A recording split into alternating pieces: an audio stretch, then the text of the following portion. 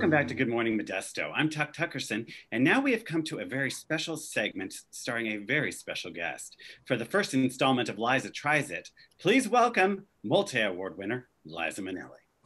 Hi, guys! Hi, Liza. Well, don't you look cute?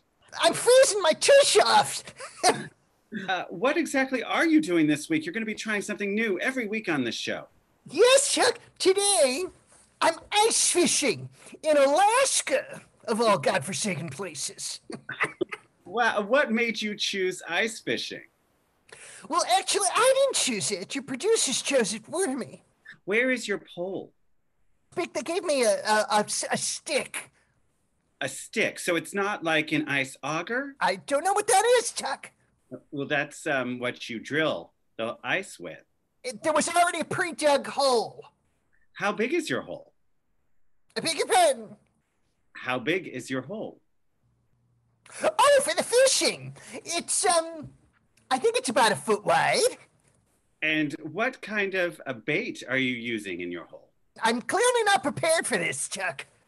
Uh, Now, Liza, uh, there are some other uh, types of ice fishing. People might use an axe or a chisel, uh, a hook and a spear.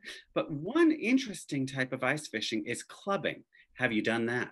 Oh, well, you know, I used to go to Studio 54. Does that count? Well, you must know Studio 54 is a gay man. um, I'm married to my wife, Janice. Back to ice fishing. Yes. Yes. Now, Liza, have you encountered any other wildlife out there? oh my God.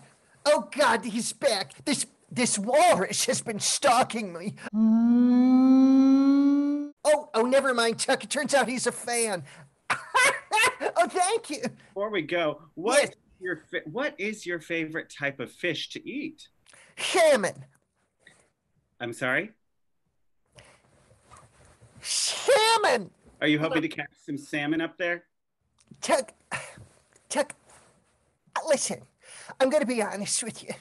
This was not my idea. I don't like fishing. I get my seafood at Red Lobster. Well, we wish you the best of luck, Liza. Thank you, Chuck. Thank you so much. And God bless you and your viewers. You're terrific. Thank you so much. Thank you, Liza. We look forward to seeing you next week. Liza. Ah!